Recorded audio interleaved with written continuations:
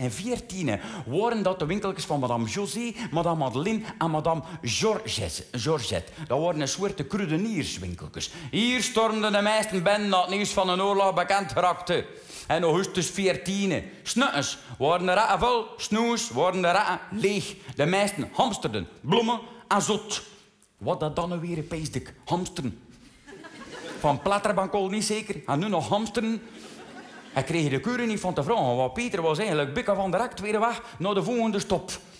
Nu kak ik dus twee hamsters. Nicole en Hugo. Ik had ze zo genoemd omdat ze eigenlijk ook aan het lopen waren. En ook omdat vrouwen gelijk een boos was. Ik pees, ik hoor bij het schofvloer en ik ga wel zien wat dat dat hamster. En wat dat ik onder zou doen. Heb een keer geef ik onder notjes. En ze steken ze er al die notjes hier en onder koks gestopen. En niet wel een deuren slaan. Ik peesde maar dat hamsteren. Dat wat de meesten deden en 1400 teten en onder de mond steken. Bloemen en zoet. En dan niet deuren slaan voor vier jaar lang. Ik heb dan een keer geprobeerd, maar dat we dat. Ik heb dan moeten losbietelen. Pees de dak kan het niet zijn. Nu, een keer zie ik het Nicole en Hugo wat heel anders doen. Dat zag er zo uit. Nicole, ze leest haar kopje op de grond, haar voerpootjes ernaast en ze stak ze haar popje omhoog. Zo echt, maar, maar heel gestrekte beentjes, zoals ze vrij lenig, hè. Zo korte pootjes ook. Moest de been eigenlijk de minnik zo er ook wel zien doen, haar kop op de grond. Ze stond ze daar reed, moeilijke positie, eigenlijk. Je zag haar kopje een beetje rood komen. Hugo had gemakkelijker en moest er gewoon gaan achter staan. Rechten, zijn middel tegen dat poepje van Nicole. En dat was nog niet echt genoeg, want je pakte hem dat poepje van Nicole vast. Bij dat vachtje, zo met zijn klokjes, en je draaide hem, dat vachtje heb je twee keer rond zijn klokjes. Dat was een soort teugelsysteem wat hadden gelijk. En toen begon hem vrieseren, zijn middel tegen dat poepje van Nicole te bewegen. Ik ga dat nu niet voor doen. Wel dat ik het kan nu.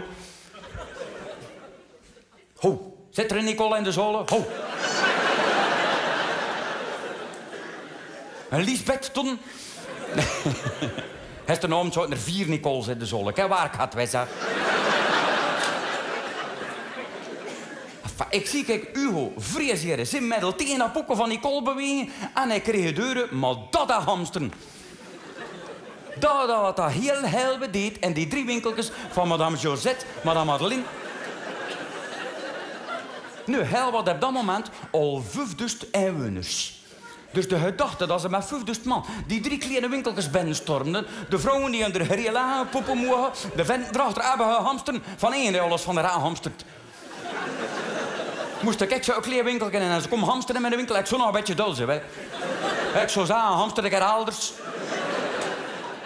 Heb een keer storm ik de slapkamer van mijn broer Johan ben. Je was hem juist zijn lief Sabine aan het hamsteren.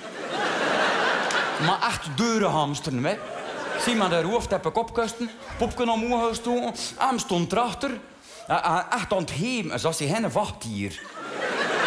Ze een wacht, maar je zat elders. En wat dat nam gedaan, hij had hem dat vel van heb reupen gepakt. En twee keer rond zijn polsen gedraaid. En je was er aan het hamsteren en zie aan het tieren en aan het tutten. Ik pees hem als ze bit hamster die ze doet. Ik was een beetje in paniek. Ik stormde naar beneden. Ik zei, pa, ma, Johanna Sabine aan het hamsteren. Ze bit als oorlog. Mijn vader krost naar boven. Het was oorlog, hè.